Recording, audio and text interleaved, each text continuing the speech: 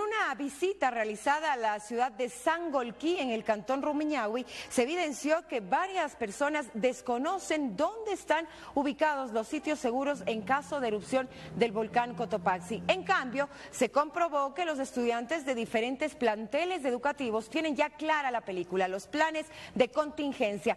A apoyar a las autoridades también en este esfuerzo que están haciendo, nosotros también somos parte de este plan de contingencia y debemos preocuparnos por saber cuáles son nuestros sitios seguros y a dónde debemos acudir con nuestra familia en caso de una erupción. En el paisaje citadino de Sangolquí resulta evidente la presencia de esta nueva señalítica horizontal de color verde, pintada sobre las calles que guían a los ciudadanos a los denominados sitios seguros en caso de erupción del volcán Cotopaxi. Hemos señalizado 40 kilómetros de rutas de evacuación sobre el asfalto, el hormigón y piedra. En Sangolquí se han definido ocho zonas de riesgo, 74 lugares seguros, así como 28 refugios. Los ciudadanos empiezan a familiarizarse con las nuevas señales. Saben la señalización de evacuación, para dónde dirigir, saben identificar el color. Estamos aquí en la avenida Luis Cordero, en la zona donde se ubica el hospital, empresa eléctrica, el inicio del parque de Santa Clara y también el estadio del Independiente para ver cuánto tiempo nos toma desde este lugar llegar al punto, al sitio seguro. Vamos.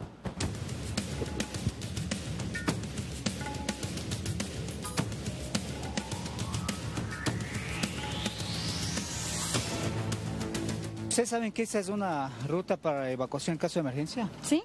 Sí, ya están identificadas con las líneas a dónde van. Sí.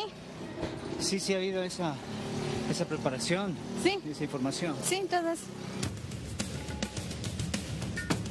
Estamos llegando ya al eh, sitio seguro, estamos en la calle Quito y en la avenida Calderón. Este ya es el el sitio, el punto seguro, nos ha tomado 5 minutos con 52 segundos.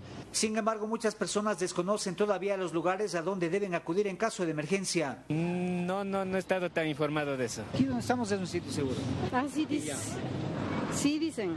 No. sabía usted eso? No. ¿Usted sabe que estamos aquí en un eh, sitio seguro? No. De manera improvisada llegamos al colegio Rumiñahui para verificar los planes de contingencia y encontramos que los niños y jóvenes sí estaban preparados. En este momento nos vamos a levantar ordenadamente y vamos a coger cada uno su kit. Fila número 5. Cada uno de los chicos tiene su kit. Sí. Cada uno tiene preparado su kit, va en forma ordenada, va cogiendo su kit y va evacuando a la parte de afuera.